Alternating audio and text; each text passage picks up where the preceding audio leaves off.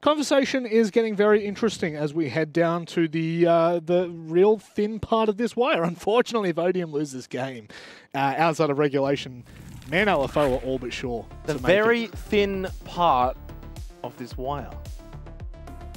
You didn't, didn't like that one?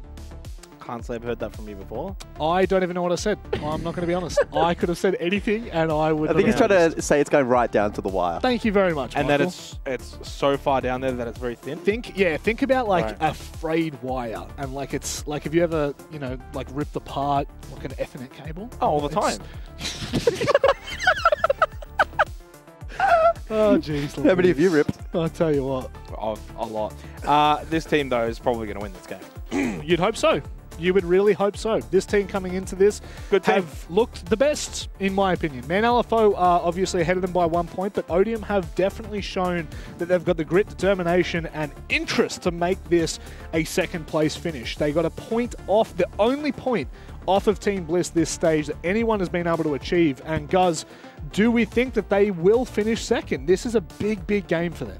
Well, unfortunately, they have made things a little bit more challenging for themselves. They did have that 5-7 loss against Antic last playday. Killerman able to farm them a little bit over on Consulate, and they just struggled to at least clutch a point in overtime, which would have made the discussion tonight for them a little bit more comfortable.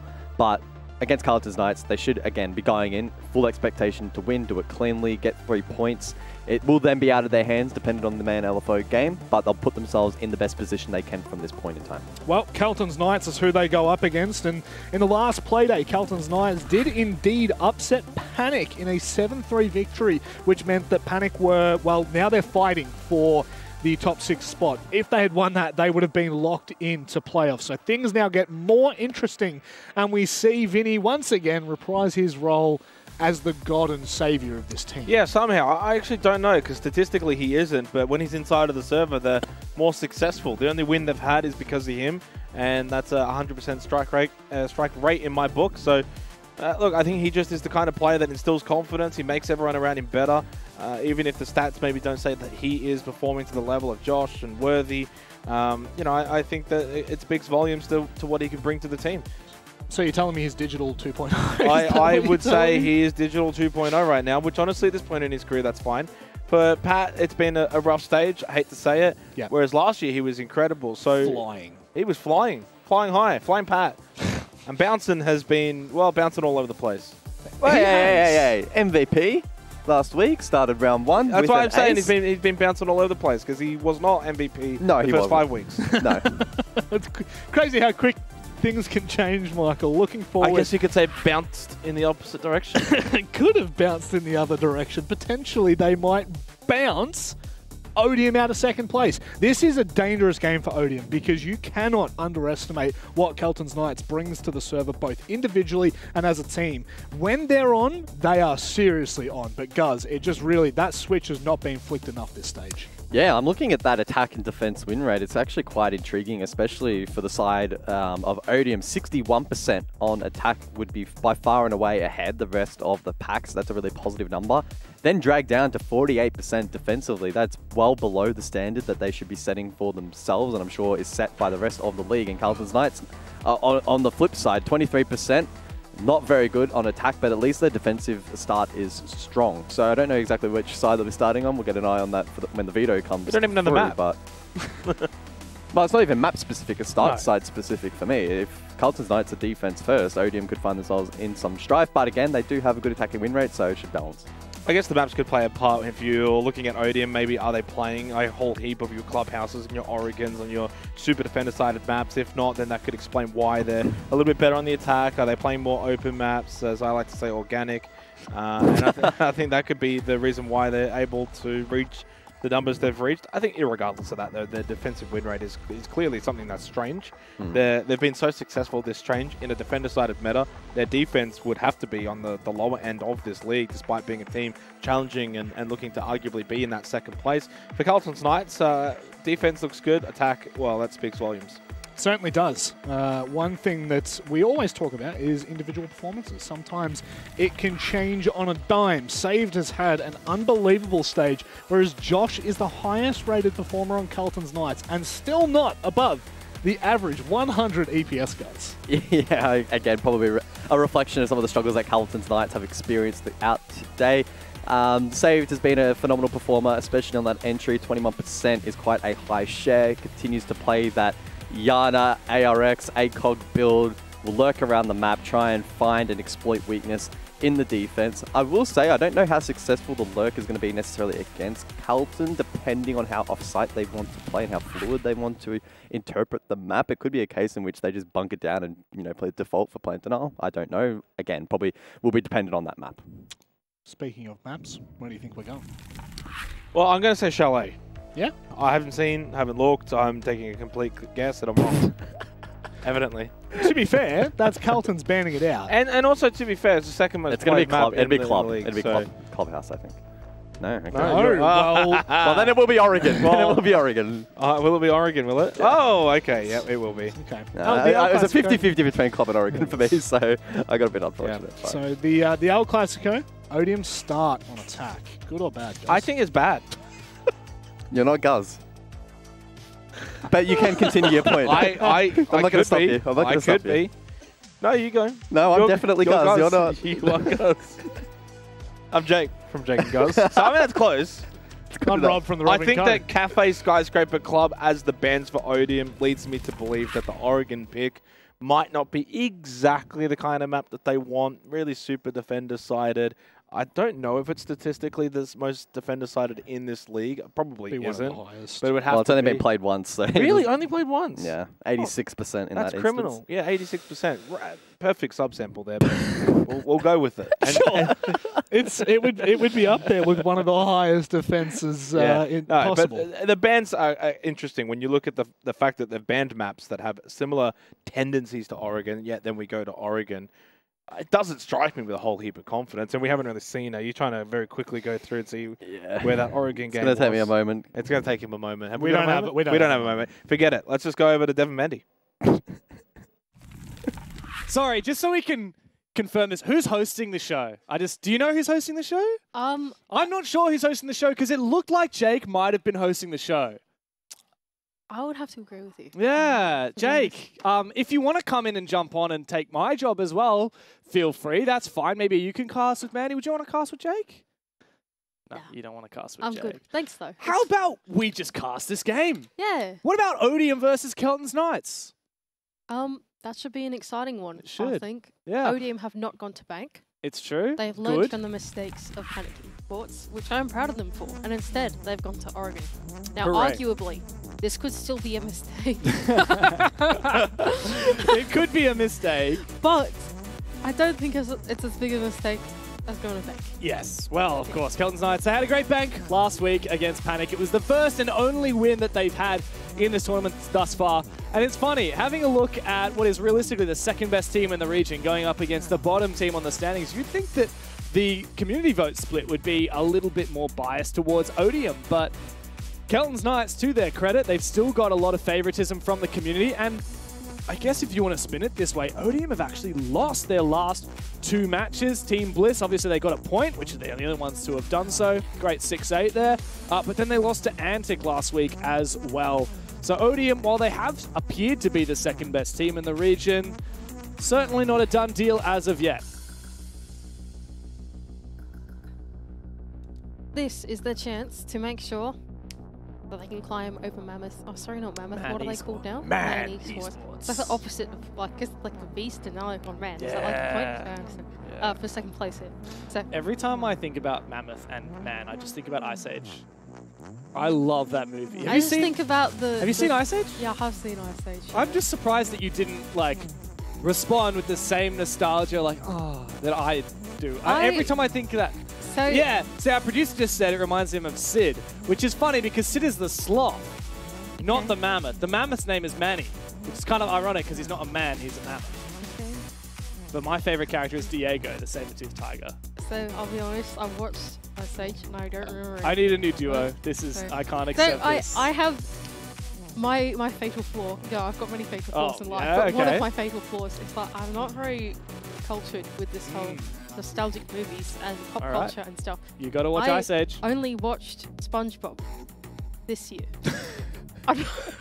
Who'd be watching SpongeBob in 2024, Mandy? I'm not kidding. I'd never seen it before, and and I kept getting extensively SpongeBob memes, and I was like, I don't like, I don't understand. But yeah, Oh. so yeah, you Yeah, can't okay. really count on me to be the nostalgic person in this scenario. Okay, I'm gonna so- see how many Ice Age references I can fit into this cast, and you're gonna sit there and not get any of them. Is that what you're telling me? that's- exactly correct. Yeah, that's exactly how it's gonna go. That is devastating. I mean, it doesn't matter. It's not even Mad Esports anyway. no, okay, maybe I'll save it for one of the the other games. No, we're not casting the Mad Esports game. It's now or never, Okay, in that case, how about we just cast this bloody game and do the best job that we can and give maximum respect to these teams? Does that sound okay? Yeah, Okay, we'll try that. We'll try. We'll give it a shot. I can't guarantee it, but I'll give it a try. yeah, you know us. We're very respectful casts. Uh, respect. Say that without laughing next time, Mandy. All right. Sorry, I'm still laughing about this. Kicking it off on defense, Kelton's Knights, the big guys who have won a single match thus far in the league. And maybe they could find a second one here. They are on the most favored bomb site in the game. Something that Fresh hit me with a fun fact yesterday. He said, Oregon Basement, the most defender-sided bomb site in the game. So if they can't win Well, here, I'm just saying, it's a I big don't have flag. to be a stats man to tell you that. Yeah, I know, but if I say, oh, Fresh said it, then it, it It carries adds weight. credibility Yeah, to it. exactly. Yeah, sure, fair enough. Okay, he's worthy in the top four. So round clears on for Odium. Holding on to area kids for a little bit longer. Saved is going to look to try and take that engagement, but won't land the shots, and that's going to allow Worthy a path out potentially in through Attic.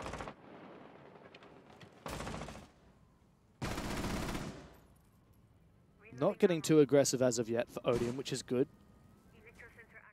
Still Worthy is holding onto his position. He's been droned many times. Another one goes back. They've actually watched his cutoff here. Apparently not well enough, it seems. I thought that Bappen was watching, but no, now Worthy has been afforded the ability to fall on back. This has been uncharacteristically Ooh. passive from Odium. However, Quixie and Worthy do directly trade. Okay. So the roam clear is still on here for Odium. They've only cleared Uh-oh. one position here on the ground floor. Oh, and now they've cleared two. Nice entry from Bappen. And Kitchen well timed off the back of the info of the player rotating in through security, perhaps overstaying their welcome. Oh, Pat is still on the top floor. I mean, inside a tower. I think they know. There has to be a drone here. Oh, no, there isn't. Surely Saved is going to check this at this at this point. Hmm, we saw... No, maybe they won't. I mean, there's no rotation in tower, so they Surely can't he checks.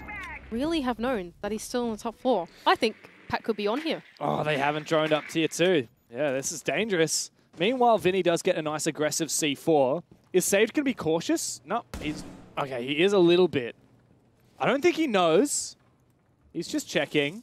He'll try and sound cue to watch his flank. Oh, Bouncing balls neither has does just Bappen. flanked himself up through Z and found another pick. This has been pretty poor from Odium. Dun, dun, Thankfully, dun, dun, dun, dun, he's run away. dun, dun. He's gone all the way to blue. Bounce and Pat doesn't say. Oh, no, he hasn't. I don't know what I'm talking about. The Jaws theme was very apt. And seeking beneath the surface, Pat does find his pick. There's a nice one for Bouncing to close. Kelton's Knights, very solid defense. Yay, they want a defense the basement. How Hooray. exciting. Um, that's about it, really. uh, Odium struggling a little bit on the roam clear. Yeah, they did manage to pick up Worthy eventually, but it was a direct trade.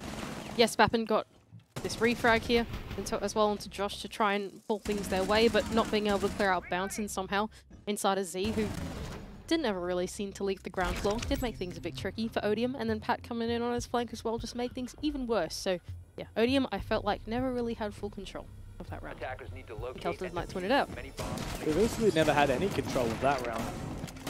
Very slow, uncharacteristically slow, and uh, a bit lax from Odium, really allowing those flanks to go down.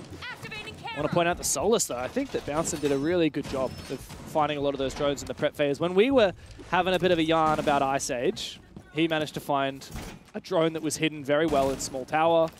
Saw quite a lot of drones taken out early, and Vinny's looking to do the same here. He's just taken out, I believe that was Quixie's drone. I like this bit of an extension, bit of a threat over here in Small Tower as well. Seconds remaining. Clash. Interesting. Very interesting. I also I didn't know that Clash has got a shield and a shield. Yes. I actually did not know that at all. Also a shield and a shield and a shotgun, by the A way. shield like and a Pat, shield and a shotgun. Pat does not have any ranged weaponry, not even a pistol. Yeah. He could have gone for the SMG, but he's gone for the shoddy. That's very unusual. I don't think I've ever seen that. This is a bit of a meme lineup from Pat.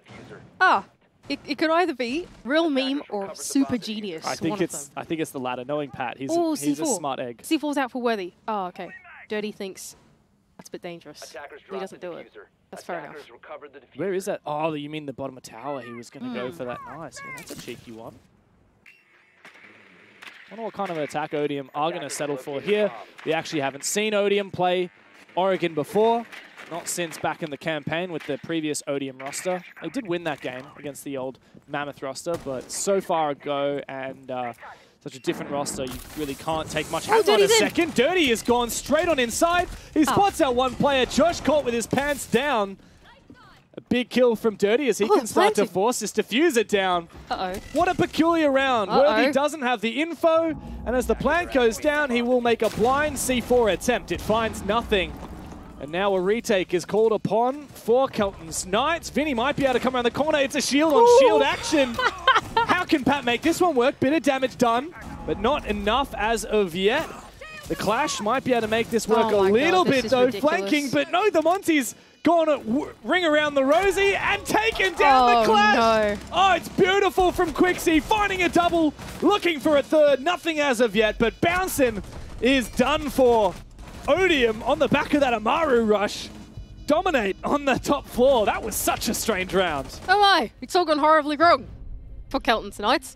They had such a good defense in the basement, and then they went up to kids, and uh, Odium was like, "Nah, we're good from here on out." But Yeah. yeah, Amaru seemed to be the right piece of the puzzle. I I, just- guess. I- they didn't expect it. He was went straight on in. They had no idea where he was planning. Round was over. Retake, not so good. Josh really could have killed him there. there, Like I don't know, was I Josh he was flashed. was he? Yeah. Did they flash from the double window maybe? Let's have a look at this. I don't he didn't look flashed. Yeah, I saw Candela's go out, but he didn't look flashed.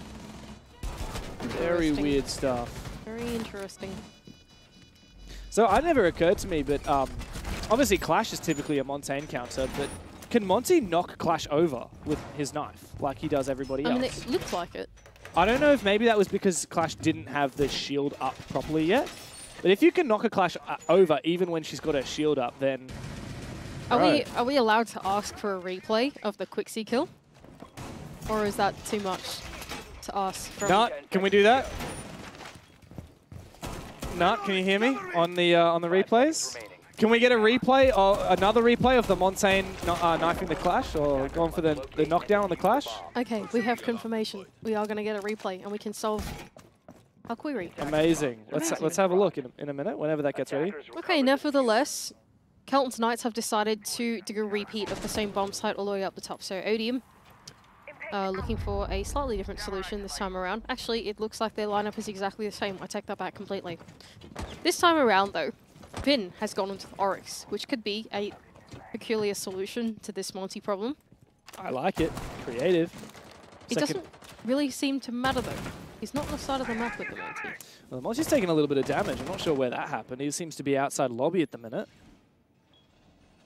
Quite a peculiar setup outside from Odium, making his way up the stairs. There is a player on for his flank here. Quixie in a bit of an awkward spot, pushing up. Oh, he actually Pat, wants run. to threaten to try and push back some of these defenders, and as they do fall back, he's in a pretty good spot, taking a lot of ground. Yeah, right. So Pat's decided he's sick of having the clash and he actually wants a real gun. Uh, so he's gone into Melusi instead, which I think could be a good idea. Not only that, but impacts are a thing that exist in this game as well that can deal with Monty too. So, oh, this is interesting. Dirty is on a drone at the moment, and he, wants looks postured for the exact same execute previous round. And the guy in kids is actually on his drone right now.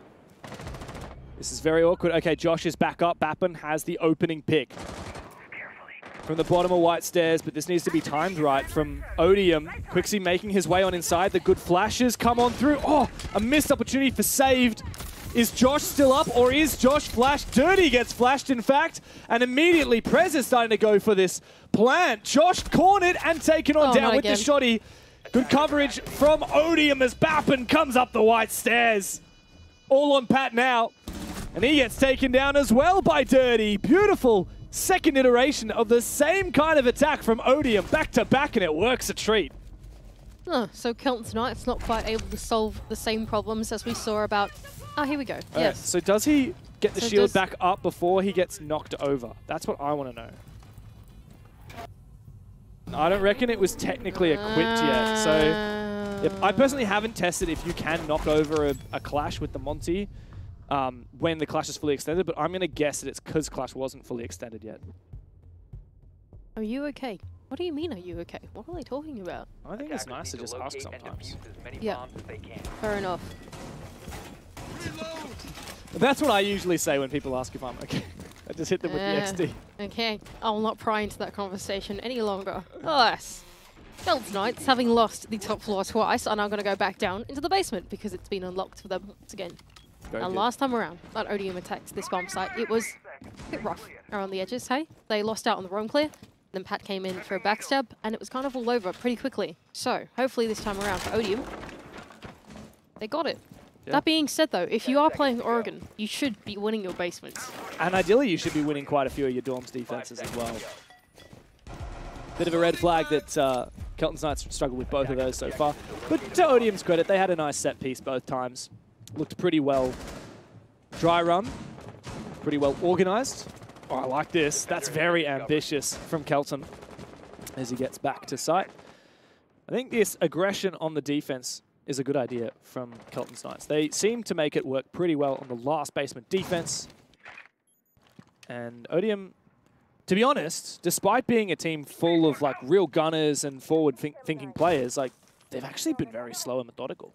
So I think the thought here for Kelton's Knights is we interviewed Vinny last week, right? And Vinny said essentially they've cut themselves more loose, right? They've given themselves more slack in the way that they play the game because they were trying to play a game of really structured siege, but not practicing off to actually make that style siege work right. So I think letting loose some of these players, like like bouncing balls, Yeah. like Vin, like Worthy on this row, is probably the right idea, to be honest. And I think they've got it this time around, and that's probably why they're finding a bit more confidence in these early rounds, right? So I think this is good from them. That has delayed quite a significant bit of time as well for Odium, uh, only just making the entry in through Armory. The rest of the players of Kelton's Knights look like they've backed on out all the way into the ground floor or into the basement. So, so far so good. Um, I would say both teams is pretty even situation here, except for potentially a player still on the top floor. Oh, yeah, okay. This is cheeky. This is very cheeky. And I like the way that Worthy was on the stairs there to shoot drones and, and kind of bait these attackers in. Bounce it. Oh, he is spotted, Uh-oh. I believe, on that drone. He might be able to take a drone out. No, he doesn't want to risk his life by going for the shot. But he gets back to site safely, which is good. Odium have cleared the map, but there's still a lot of items on that checklist. Both of these hatches still reinforced and electrified. Right, so what do they do from here? They're going to use a baby EMP to clear the cage charge. Get the hatch open. Nice. Oh, they're gonna have to time this right because the the electrical can come back online before the Um. X-Kairos detonate. No, okay. They must have just got it on in time. I think it's the secondary hard breach charge, right? Is it okay? I can't remember which one's slow. Well, Hibana is pretty slow. yeah. I think you um, could be right, actually. I don't know. I think I'm I wrong. think you know if you wait too long before detonating the Hibanas, then yeah, you're gonna lose that. Sense it makes. I concur. Okay, uh, Prez instead is going to try and make these lines of sight to clear out position inside of Sharko, and it's going to work, seems like. Unless Blake can shoot them off, but nevertheless, the B is going to prevent that from happening as well, so... So far, so good for Odium. Oh, no, not so good. There's only 20 seconds left. Hey, Kelton's Knight should pick this one up. Yeah, but Saved has found the opening kill. A good C4 from Worthy, but it does mean there's no C4 for the plant denial. Might not matter in the end because Odium have gone deep. It's all up to Pat now. But guess what? He's in pole position to deny this plant coming down the hatch. Dirty, lucky to have stolen that kill. Otherwise, Pat could have denied the plant and won the round on time. Odium just get that one away. That's big red flags for me for Kelton's Knights. Not only have they lost two of the top floor in a row now on the defense, but they now have gone and lost a basement to honestly what was a pretty standard attack from Odium. Clear the map, open open E, go for a back take. Like pretty standard. Yeah. You know? And what's a shame is like for Kelton's Knights, this game actually that cannot affect their standings. Like they can't even go to seventh. They are dead last, eighth place. They can't even boost themselves up by one spot because the next team, Secular Spheres and Six Targets, um, uh, oh, actually, Circular Sphere is not anymore, but six targets is four points ahead of them. And they can obviously only get a maximum of three from this game. So a lot that needs to be done for Kelton's Knights moving into next stage to have a better go of it. But here, like this game, can't have much of an impact from them. All they can do is play spoils for Odium. Well, I think then the story is more about Odium here, right? Like this is their opportunity to surmount themselves into second place, Yeah. assuming that maybe 6T go and grab some rounds off uh, Man Esports a little later on tonight, right? So Yeah, well, on that, like all Odium need here, like they get the full regulation win, then Man Esports need a regulation win off of six targets. Otherwise, Odium retain that second place. And I would not be surprised if 6T can steal uh, a few points away from Man. I think this is important for Odium, performance-wise, leading into the best of three setting. I think at this stage of the group stage, especially with them just literally just around the corner tomorrow, right? Yeah, so yeah. yeah, it's important for these guys to be in form. You know, you know, changing changing that kind of stuff overnight is pretty tough, right? So I, I'm what I'm more judging in this final play day, especially for some of these more low stakes games, is I think a general feel for the team. And also map pool Going into me. tomorrow? Like, this is a new map for Odium. So if, if this is good, then it's really going to give them a huge advantage in those BO3 Sure. vetoes. Yeah, it's really important. And I think, like, to me, for the rest of this game, I'm sort of writing this one off pretty hard. I think for Kelt's Knights, they've looked pretty weak, I would say, so far in the series. I'm more turning towards how efficient and clean Odium look. Okay, Where's bro going? whoa! Okay, Kelton has decided to go for an excursion, and instead What that's allowed Worthy to go and claim a pick onto Bappen, who's running in the wrong way to take that fight. Oh, what's going on here? A rush into the basement? rush? There's no one here! Well, Vinny there's- says, actually, I am home and I'm not keen for you to start moving on in. Here's a big C4 opportunity, but it doesn't quite land as of yet. Now, this reinforcement here on Elbow makes things very awkward. Ki- Quixie doesn't have the diffuser. He's in a plant spot, but a 2v5 makes things very awkward. Prez finds one, but Quixie is absolutely caught. Like, there's nothing he can do except bait for Prez, maybe. Nope. Prez is down. 1v2, and it's not going to happen there. Kelton's Knights get their defense locked in on the back of quite a risky rush attempt from Odium. Ah, I spoke too soon. That you did. I did. I spoketh too soon. Um, and yeah, Kelton's Knights, great roam there. Extended throughout the entire uh, entire map, all three floors. Odium tried to punish that by jumping their way straight onto the bomb site, and he was there to meet them, called it out. The rest of them collapsed back in on the bomb site. Very good roam, and punishing Odium for cutting corners. Yeah, very much so. I still like the idea from Odium to go for that rush. Like, I don't blame them for thinking, oh, this is free, moving into sight. But, yeah, the devil is in the details, as they say. And Kelton's Knights, hey, they could go 3-3 here on Oregon. That wouldn't be horrible. It wouldn't be ideal. It wouldn't be horrible either. They could still play spoils for Odium. Yeah, and Odium, like we said, like they need three points out of this. Two points, and they technically go ahead of Man, but uh, then if Man get any points, I mean, if Man get even an overtime win, then they will still steal second away from Odium. So a lot of chance here for Kelton's Knights to throw a real spanner in the works for what many believe, I think even Bliss believe, that Odium are the second best team in this region right now. It's just all but proven. Quixie's jumping off the Monty as well onto the Ram for this round, which is an interesting addition to a tertiary bomb site for Kelton's Knights. Now, I like that Kelton's Knights have realised that they're not very good at the top floor No. and are instead going to try one at the ground floor instead. The final defense round. Quixie's been pretty sharp this entire stage and is going to try and look to claim an entry onto the Roma in the top floor. Not quite able to land the shots onto Worthy on the other side. It's pretty lethal in the alibi so far. Saved on entry. ACOG on the finker. Very nice. Oh, perfect for these long lines of sight, but Pat's got him through a wall bang. Very nice shot there. Man advantage, Keltons. Dirty's going to look for the cross as well onto Worthy, who I think is still sitting here in the top floor and should be able to get away with his life here. The kitchen hatch being open will give him the escape route that he needs, but it doesn't look like he wants to do it straight away. Okay, now he will. Oh, Ah, spotted out. And Shower Hallway as well is bouncing, so Dirty can get that as a free pick. yeah, very risky there from Bouncing. Bit ill-advised. I wasn't a huge fan of that play. Not necessary in a moment like that. Interesting to use the Ram just to make a rotation into pit. I mean, that's not realistically going to tear up any floor. Poised to try and make something work on this entry is Bappen.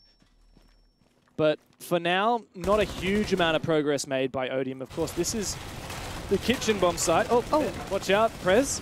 The Ram does come and open up a very strong line of sight, completely mincing up that kitchen flooring. Still no flank watch as of yet for anyone coming up the freezer stairs, and that enables Worthy to make this one happen.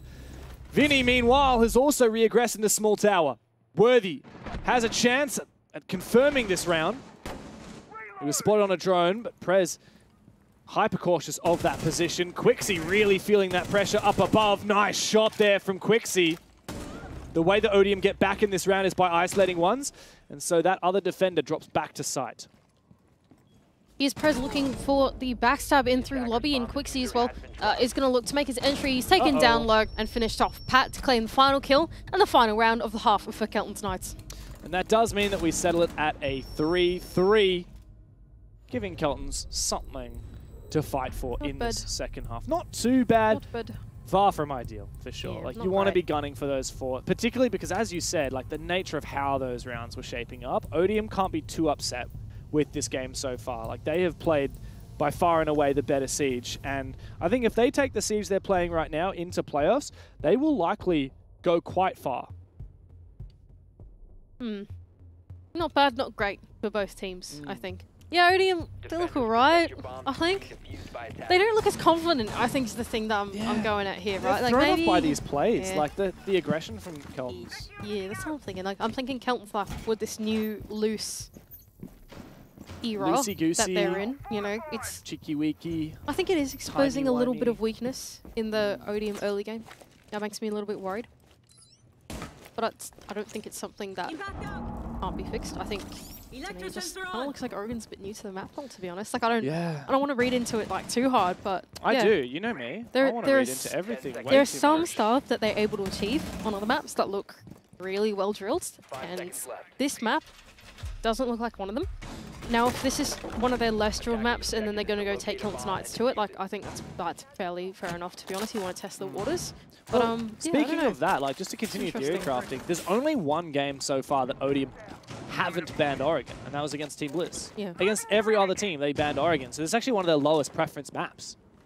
And yet, they let it go through against Kelton. Is Odium just like feeling out Oregon here? I think so. Because they don't really care. Because they could be like going really hard in this game to confirm second seed, or they could just let this one go, pump the brakes a little bit, foot off the gas, and just chill out, and then like really shore up that map pool going into playoffs. I would have to agree with that theory personally. Maybe just the way that they've like postured themselves in the server at the moment, but they don't look as confident on this map as they do the rest of their pool. Nevertheless, uh, without reading into it any more than that, Vin uh, on the entry is going to claim the first onto Bappen on the roam clear. Now they have come down to the basement, but it is a full extension of the map, similar to what Kelton's Knights were doing on their defending half. Ooh, players just going down laundry stairs there. The Kelton's Knights. Saved is in a good spot. Pat's tempted to make something happen. E1D locks his defenders in place. Look at how deep Pat's got, but he's taken down. The diffuser is in the middle of sights. And there's not a lot to do about it. Kelton's thankfully can bring the numbers back. As I say that, Dirty makes it a little bit awkward. Saved has got to reload at some point. Not enough bullets in the Roni there. He goes down to Vinny. It costs Kelton's Knights a lot of HP, and of course the diffuser still on the ground in the middle of the objective, meaning that they realistically have got to go for kills and got to go to retake this site, which is going to be very difficult with where these Odium players are situated. Oh, Prez could be in a bit of a dangerous spot here. I think a closet's pretty safe, but I mean, if this pick, peak comes through from Freezer at the right time with whatever Vin is trying to do here, that could be a bit dangerous. Okay, never mind. They're going to play straight into the mirror. I take it back completely. not Dirty should be good here. Oh, the Oh. nade, though, might have enabled that position. Oh, Oh, no. Bouncing Vin needed to watch the a cross back, nade. but a nade That's and a, great pre-fire is beautiful from Vinny. President 1v2. Oh, he's got the down. I think he knows. He might have heard the body drop. And now it's a 1v1. President holds down the fort for Odium. A sketchy round, but one that Odium get in the bag as they take the lead once again. Yeah, really back and forth that last round was. Kelton's Knights try to capitalize on the site being mostly vacated. And they almost did that. The They got the defuse in the middle of the bomb sat, and they even brought it down back to uh, 2 versus 1 in the 2v2, which I thought was a perfect use of the grenade in that situation as well. Great utility sunk. Um, but yeah, Prez being able to land the 2 versus 1, both plays pretty low after the early engagements as well, does narrowly close that one out for Odium.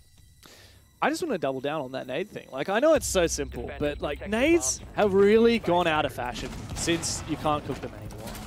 But good teams know how to use them to displace players, and that's exactly what happened. Like, it was the Lion who had nades, the one in Freezer. He had to throw it all the way through his line of sight in the Freezer wall, through the line of sight in the closet wall, bank it off. By that point, Vinny really has to run, right? He's not going to be able to tank that nade. Oh, sorry, not Vinny, the defender, whoever the defender was, mm-hmm. had to tank that nade or run. And Vinny just pre-fires, and as he runs out, he walks straight into his crossfire. So that's actually some nice fundamental team play from Kelton's Knights. 10 seconds to insertion. Nevertheless, they did not win the round. No, but that's Very because they got 1v2 Yeah. because President's a gamer. Yep, he did game in that last round. He, Not he bad. knows how to do that, I've noticed. You think so? Well, we've talked a little bit about this. President's actually having a pretty banging stage. Yeah, unironically, Like, yeah. He's, like, he's the guy that cops a lot of flack because he's usually like on the less fragging roles on his teams. But man, this dude's been holding his own. dude is certainly doing it in 2024 somehow. Maybe it's just the right team, honestly, or maybe he's just like found his people. These are the dudes. Anyway, here goes Josh on the entry on Ash. Give Josh the Ash license. I quite like it, and give Bouncin Kelton. what did Vinny Blackbeard say? license. Vinny said the other week that Kelton said, "Look, guys, I am going to just pick Blackbeard and play how I want," and they were like, "Okay, we'll just let Kelton do what he wants." Oh, what Oh, a that's free nice. fire! Very nice. And yeah, I, I think this might be the secret. Hey, oh, okay. We were Or saying this is the good. This is the good news for Bouncin. It's He's totally gone not. minced. Yeah, he's gone. Uh, Unlucky. that's funny. I still love the fact that this team has a dynamic where Bouncing's like, hey guys, uh, I'm building a team. By the way, I'm not going to play in it for a whole year. Oh, by the way, guys, in 2024, I'm now going to play for the team again, but I'm only going to play Blackbeard. I just, I love that dynamic. Now, really nice shot there from Dirty. Fortunately, Pat was able to get a breach on the wall, but losing that fight is going to be pretty punishing. Oh, Worthy, flanked up by Bappen, is pretty ecstatic about that one. Two versus four. Kelton's Knights not in the best of ways. Okay, this is not great, hey? A minute and 30 left on the clock uh, is time to work with, but there's not much that you can do from this situation, really. I mean, Josh is in trophy. Punish someone if they go for the overpeak. Oh, I think oh, Vinny's just managed to claim that, actually, onto Dirty, who looks Oh! like he was overpeaking. Oh, Oh! Oh, Prez as well, sticking his foot out from the breach after Dirty's just died. That's not great positioning, hey? Josh is about to get swung big from Bappen. He's feeling good about this one, but it's a mirror. He's got to worry about both these players could line up, but Bappen swings it. A big one from him. Odium seriously running away with this game. Yeah, really solid defense there from Odium with the top floor. Despite Josh finding the early pick, I think they held on well. Especially Dirty on the breach, he really stunted a lot of what Kelton Knights were trying to achieve over in towards the master side of the map. And really, there wasn't that much control for Kelton Knights. They never really pivoted their focus at all, whether it was towards double window, trying to get attic, or anything like that. It was pretty linear, like claustrophobic attack. And uh, yeah, Odium shut that down pretty easily. Just say, in that pick phase, Bouncing just insta-locked Ash. He was the first one with an operator, and he just insta-locked it. Oh, that's funny. I just love this. I love the team dynamic. I know it's quite sad, really, seeing what's happened with uh, Kelton's Knights. Recently, um, this year, uh, just last year, they could put in very little effort and farm uh, and almost make a major spot, even get points off of Bliss, beat Bliss in Stage 2 last year. Very different situation now. I love the kind of narrative, though, that we were talking about where Kelton's Knights actually decided to start trying, like start scrimming, start dry running, start playing methodical. Um, and it didn't work for them. It's almost ironic. Like, the, the harder they try, the more they think about it, it doesn't work. But that, I think, tells you a lot about Siege. Obviously, you have to try, but sometimes like your mental game is actually going to perform better if you just chill out a little bit. And I think these guys were so fundamentally good that once they did that, they were one of the top teams in the region. But it also speaks to how competitive OS is getting with teams like Odium really stepping their game up. Mm. I think it's a combination of both things, right? Like, I think what Vin said was pretty telling that I think Kelton Knights know what they've done wrong here, right? And that's mm. just they know how to play Rainbow Six and they tried to add more detail to it, but you can only work on the details if you sink the time into it, and that's not something they were willing to do, right? So you you need to set the expectation on your brand of gameplay to match the, The- amount of effort that you're going to put Yeah, into it. right. And I think Kelton's Knights probably misjudged that, which is like, I don't know. I feel like a lot of teams, when you're like first building strategies and stuff, like fall into that a lot. Like especially like amateur teams in 2-2, 2-2, right? So like, You're going to yeah. be G2, it's but you don't have the time. but you don't have the time, has. yeah. and you don't have the knowledge. It's like, yeah, you know, it's it's a hard balance to find where you want to create a brand of siege that's achievable for you, and a lot of the time that's kind of like not what the top team's doing, right? It's it's like you know that that's always the boon of playing at like amateur Rainbow Six, in my opinion. Ne- Nevertheless, this is pro league, so probably shouldn't be talking about grassroots, but I mean, this is a, a league with an open qualifier, and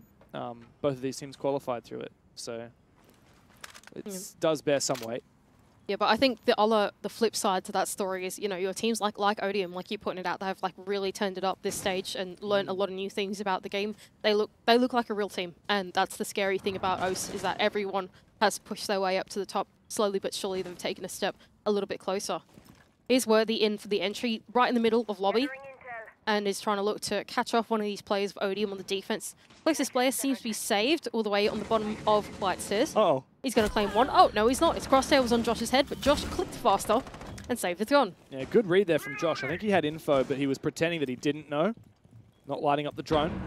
Prez on site, or close enough, in a good position. Quixie feeling that pressure as he's trying to hold on to the top floor. Kelton's Knights are not interested in addressing this top floor, it seems, as they have an execute here already on meeting. Now Quixie taking down the attic player, forces them off the plant for now. Pat's not sure where he's going to play, but Odium don't have a ton of options here. How do they recompose? Big entry from Bouncin. Quixie needs to reply, but Worthy's there with the long angle. It took Keltons a few rounds, but they do nail down an attack.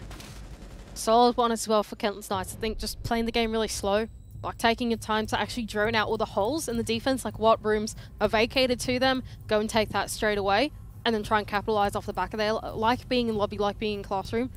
That's a real good point to try and cut off some of the rotations coming out from the, the stray roamers. Did you write this on my computer, by the way? Someone's come and written cringe in my I notepad. I did not. I did not. I wonder who that was. Was that any of our observers? Attackers need to Did you write cringe on my notepad? No? Denying. it is good being in studio, isn't it? You can Who wrote cringe on my notepad some while I wasn't here? interactions out here in person. It's good. Sorry for that distraction there from the game. Back to the game for a second, and yeah, I mean, nice that Keltons eventually get a round win. And it was nice that it was pretty decisive. Like, they Yeah. knew what they wanted to do, they just nailed down meeting control, and, and they looked to really ramp up that pressure. Yeah, definitely really solid there for Kelton's Knights. I think playing the slow games, the right call there to try and pick it apart, don't rush into anything, especially when Odium are doing something pretty ambitious. Like, you know, the, the map hold that they did was pretty spread out, and yeah, being able to find some stray roamers was, was the right play, I think, for Kelton's Knights. Especially when you've got like kind of crazy entries, right? I mean, if you look at the lineup, in theory, on paper, you've got like Josh, who's been absolutely phenomenal in the last year, second highest rated player of 2023. And then you've also got, you know, like Worthy, arguably the MVP of the region for an entire like year and a half. And you've got, I mean, can you really say Bouncing? Actually, Bouncing's Nah. not amazing right Nah, now. not anymore. But like, you know, on paper, you've got some pretty good firepower, right? So Yeah. yeah. And just on that, like, Oh. Josh. Oh, oh Josh. There we go. He's found a big kill. And yeah, speaking of Josh, like, this guy's managed to go positive on his rating and on his kills, despite only having won a single match out of the six that they've played so far. And that tells you a lot about like the, the talent of this guy. Even when they're losing, he's uh, he's still supporting his team. Oh, big opportunity here. Goes begging for Vinny. You want to talk about players with impact? Vinny's hit double digits. Kelton unfortunately does fall. Bappen running amok on this roam game. There's a player couple of- cutoff. Yeah, the That's dangerous. Doesn't work for them though. He's been so aggressive here, Bappen, but now he can just continue wasting time. wonder if his teammate's going to come help him out in this scenario because he's essentially stuck inside of shower now. Okay, so save is around the corner. Oh! Ah, that's a bit of an, of an overzealous pick. He had the info. He saw him on the scanner that he was droning, so he got a little bit ambitious there. Saved is still holding on. I just love that Odium like keep this pressure up, even though they are a player down. In this scenario, it's kind of hard to call what the right thing to do for a saved because He can fall to the basement. And arguably that's fine, even in the numbers disadvantage because the basement is rather strong. Oh, gosh, on its own, in its architecture. But also staying here and trying to find a pick could will be good for the man disadvantage. So yeah, I think Save's just gonna play the safe pick instead and go uh, go back into the bomb site. Probably the right call. Meanwhile, though, with a minute left on the clock, that's actually plenty, plenty of time here for Kelton's Knights if they want to start to pick apart the basement. My concern is that there's not a lot of util to clear these mirror windows. There's one Selma and the Hibana, and that's all you've got. No Ash, and the Twitch is all out of drones, having lost both of them at the freezer stairs earlier. Odium are playing quite smart right now. They know that if they just wait, the time will tick down, and they might be gifted opportunities to even up the man count. Now, I think you've spoken about it correctly here. The main thing they've got to face here now is trying to deal with oh, this no. mirror.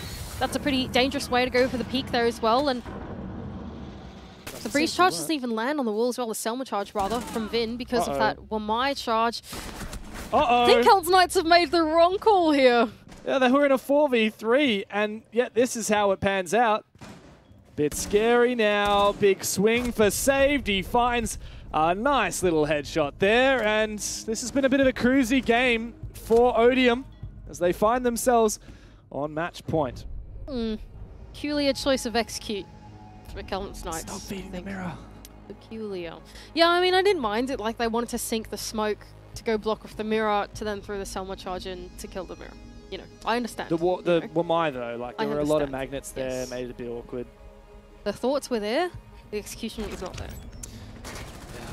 They missed, they miscalculated, I think, yeah. Having the Wamai discs really kept the mirror alive, which kept President's power position alive. Save took the one versus one that he landed, and they had no idea. Or they did have an idea, sort of. That Quixie was there, but he's pretty sharp, so yeah. Solid defense from the remaining three players of Odium. They all took an individual one versus one, and they won them all. Very sharp players, Odium. Now they've got their first point on the scoreboard from tonight. Now that does lend itself to their campaign. They are now tied on points with Man Esports. And because Odium actually have a better uh, round difference, that means Odium are now in second place in this league. And in fact, really no matter what happens in this game, Odium will still be second place in this league at the end of this match. However, there is an opportunity for Antic or for Man to overtake Odium.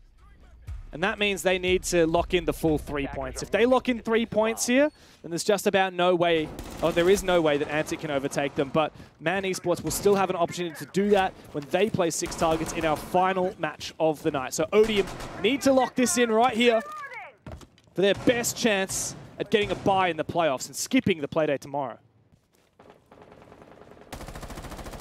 Josh has been pretty good since jumping onto the attack half on the Amaru. We'll see what he can do early on in the round. Opening up onto satellite, doesn't find anyone there with the spawn peak.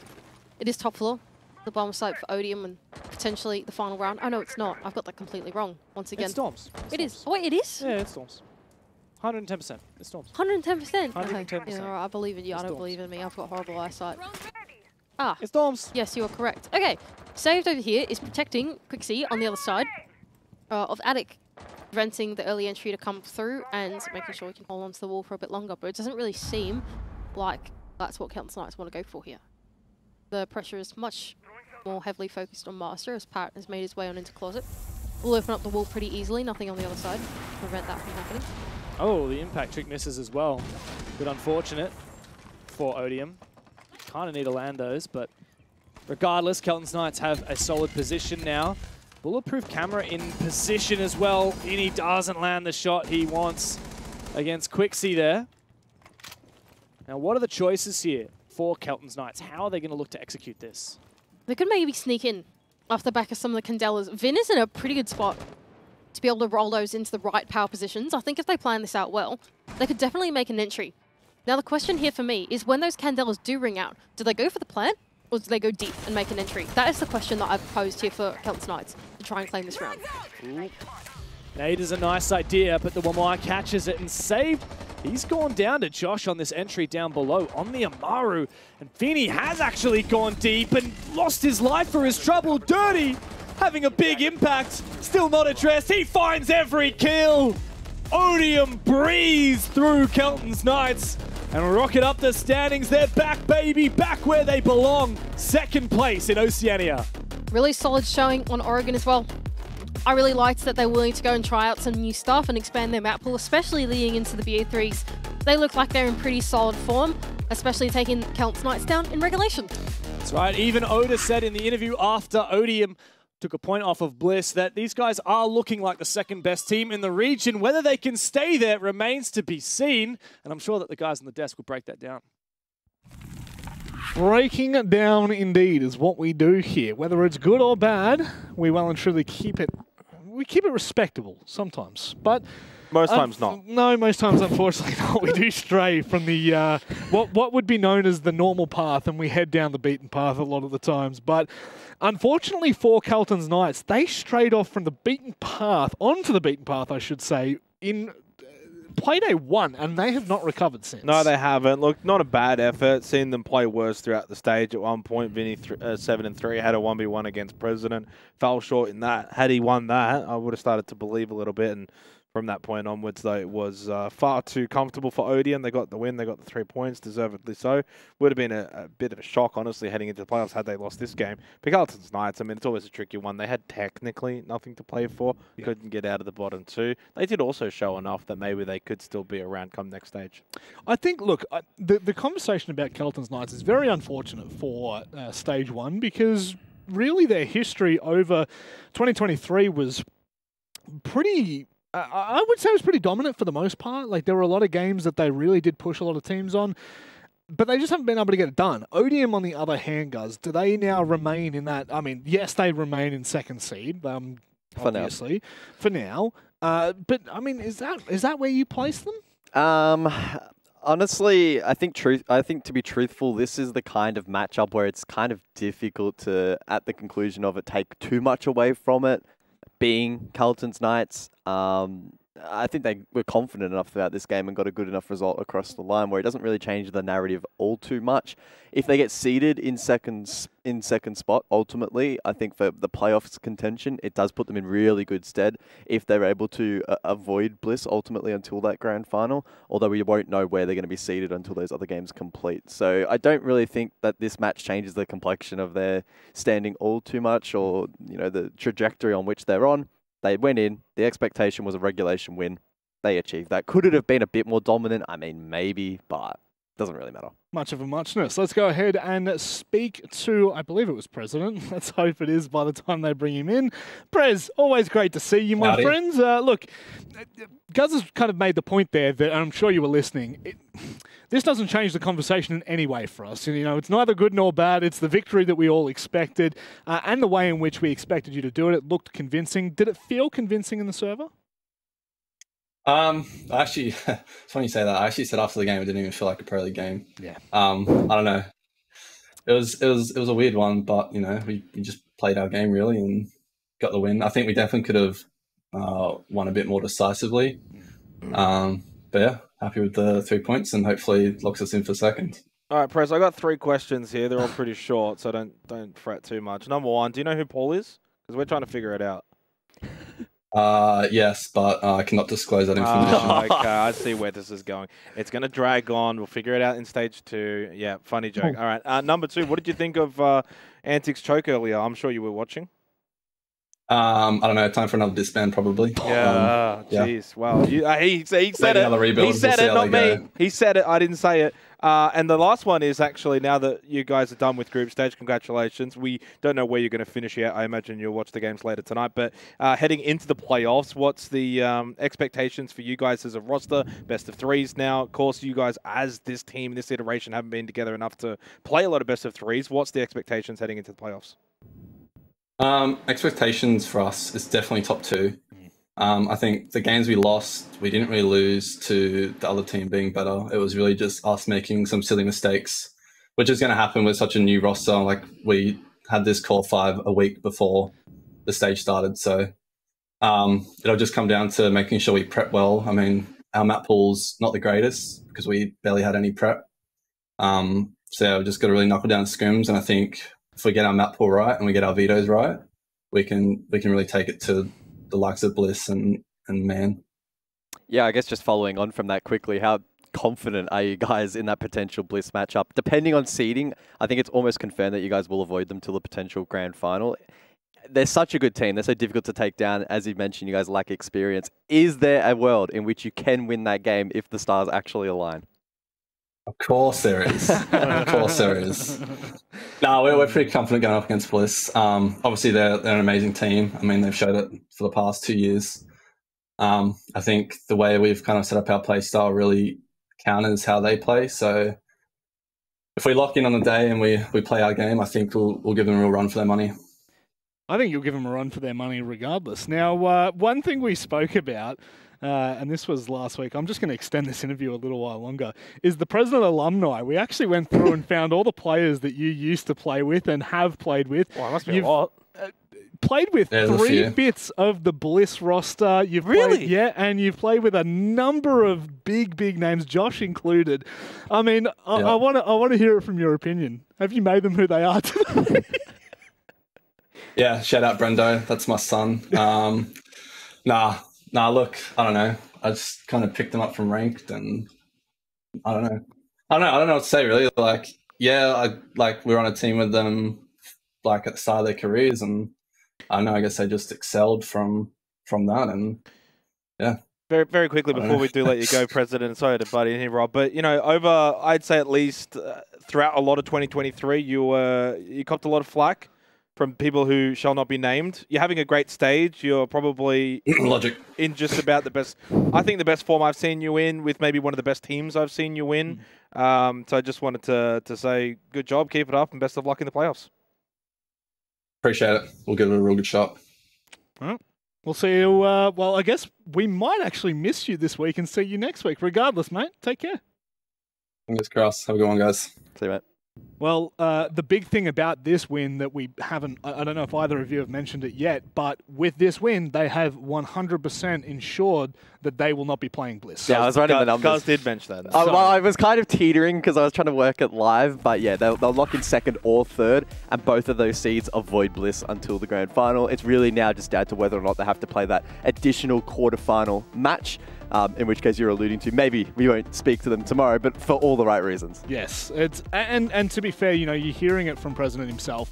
They're feeling very confident. They're feeling very comfortable, and this is probably. I, I would agree with you, Jake. This is probably the best the roster's looked uh, with President, maybe ever. I think I would. I think it'd be fair to say maybe maybe since the Ground Zero days with uh, Kakin and Brendo wow. and some of the biggest names we actually have in the That- region. didn't that team, like as stacked as it was, it didn't perform well? No, I got pulled apart. So Right. Brendo came in, and then it just slowly, you know, it was like the fanatic effect. People just kept, people just kept going for it. Everyone had a bit of a piece of it. Yeah, look, and I think also what speaks volumes for the roster of Odium is that they're all pretty well rounded. There's not like one or two that really go ahead and, and super hard carry. Um, President has stepped up as well. Yep. Um, you know, we kind of softly mentioned there, but he has copped quite a lot from a lot, not A lot of people, shit. not just Logic. Yeah. Um, and I think that maybe a lot of it was warranted throughout 2023, but he's come back, put the work in. He's got a good team. He doesn't have to overdo anything. And look, as a roster, I think Odium can certainly be that team that challenges for second. Yep. Unfortunately, it's just the league we're in. Uh, We're never going to be sitting here saying that they can win it or they can beat Bliss. M- maybe they could if, uh, you know, I I win the lottery. That's the world we'd have to be in. But I think they're a team that can certainly, know, be that second best. Well, the thing is, coming into tonight, there was only four points that separated second all the way down to seventh. But things are going to drastically change as they are on the desk. It's time for us to go to a short break. When we come back, Dev and Mandy will join me for some true professionalism.